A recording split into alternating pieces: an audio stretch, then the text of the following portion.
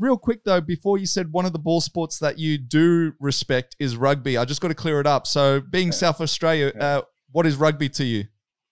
As in, like, because Rugby to me, right, rugby, you got rugby union, you got rugby league, and I mean, yeah, Yeah. yeah, yeah. So, what's Yeah. what's rugby? Well, I, I I know the difference between the two. them. I know league and union's two different um, sort of games, but to me, they're just like like they're just animals. I'm just like, bro, you literally get a ball and you run directly at another guy, and he that that guy is not just a normal guy.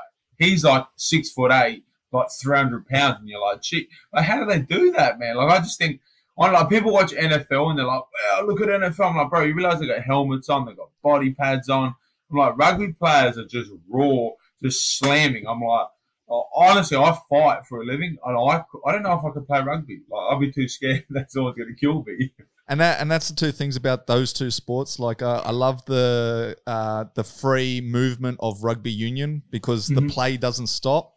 But then I find that the hits in rugby league because they do stop, they set the line and they just Yeah. crash is just insane, right? And I mean, you guys were lucky. I mean, you man. you weren't because you were stuck in quarantine, but you guys were lucky. You got the first state of origin this year,